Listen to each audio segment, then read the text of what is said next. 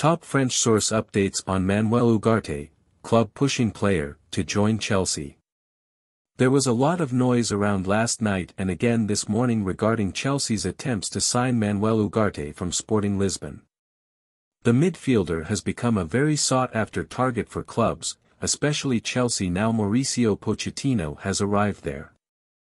The Argentine is said to be the driving force behind Chelsea's attempts to sign Ugarte. But they are not alone, because PSG are also admirers and trying to sign the 22-year-old this summer. Despite some premature reports suggesting Ugarte to Chelsea is done, that does not appear to yet be the case. Julien Laurens of ESPN is a super reliable French reporter, and he has the latest on it this morning. He says Chelsea are closing in on the signing of Ugarte, but an agreement has not yet been reached with the player.